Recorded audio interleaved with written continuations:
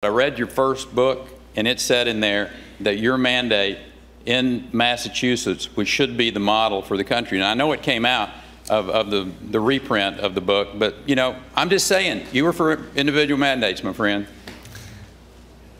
You know what? You've raised that before, Rick, and uh, you're simply it, was, wrong. it was true then. No, no. it's true now. Rick, I'll, I'll tell you what. Ten thousand bucks. Ten thousand dollar bet.